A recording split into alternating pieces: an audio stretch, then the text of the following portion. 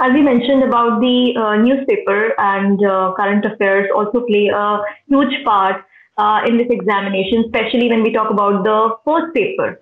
Uh, most of the Indian economics content is going to be derived or is going to be related to whatever is happening around the world, around in the economy.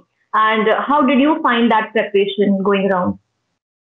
Uh, so, if actually candidates refer to the past year papers, they'll realize that there is a more weightage to dynamic Indian eco rather than purely static questions. So if one is preparing their dynamic content very well, it can help them sail through. And that was my approach.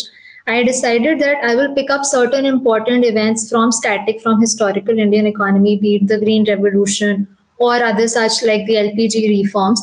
But besides that, my preparation was almost wholly current I read the newspaper very thoroughly. And whenever I would read the newspaper, I would also keep the Indian Eco syllabus in front of me so that I could just bucket every editorial, let's say, in one particular theme. So, let's say in industry or employment or poverty.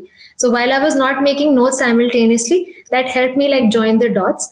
And when I was reading blogs and articles online, or I would watch like uh, discussions and debates, so something of the sort that Thinking Tree also posts uh, on Ecoholics. So whenever I was doing that, it helped me join the do- do- dots in a manner that was more dynamic. So from as far as I am concerned, dynamic has more weightage and rightly so because Indian economy is going through a great transition.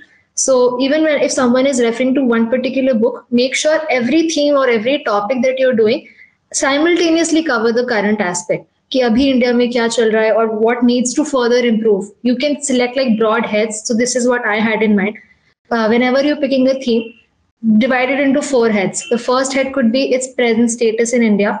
If historic, second would be if historically any major change has happened under that theme.